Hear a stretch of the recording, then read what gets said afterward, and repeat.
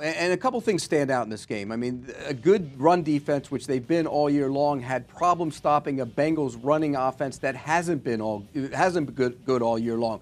The bottom line is they got to get tougher. Now, when Shazier, when Ryan Shazier went out of the game with his back injury, that was an issue. It's hard to stop the run when one of your best run players isn't in the game, but they got to be better against the run moving forward.